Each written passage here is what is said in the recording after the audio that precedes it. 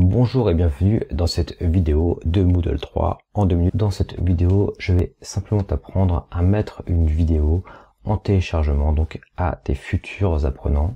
Alors, admettons ici, là je suis sur un espace de formation avec différents modules en préparation et je souhaite déposer donc toutes les vidéos des différents modules dans la partie ici téléchargement de la formation. Alors, pour effectuer cette opération, eh bien, je vais simplement ici activer le mode édition et je vais donc me rendre dans la partie donc téléchargement de la formation. Je vais ajouter ici une activité qui va être une activité de type ressources hein, plutôt et ce sera donc un fichier que je vais proposer donc en téléchargement. Je clique sur ajouter et ici je vais par exemple noter module 1. Je ne vais pas mettre ici dans mon cas de description et je vais simplement ici aller sélectionner bien mon fichier. Je sélectionne donc ma vidéo et je clique sur ici ouvrir, puis sur déposer le fichier.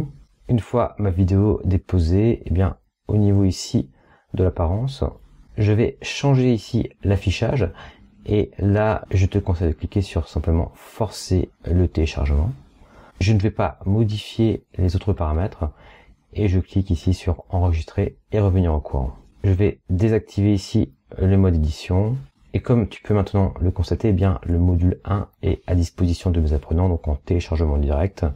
Si je clique eh bien sur ce lien, automatiquement il va se télécharger sur mon poste.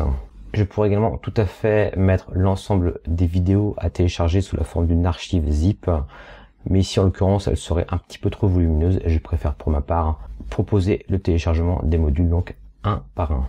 Tu sais maintenant comment déposer une vidéo en téléchargement directement sur ton espace de cours Moodle.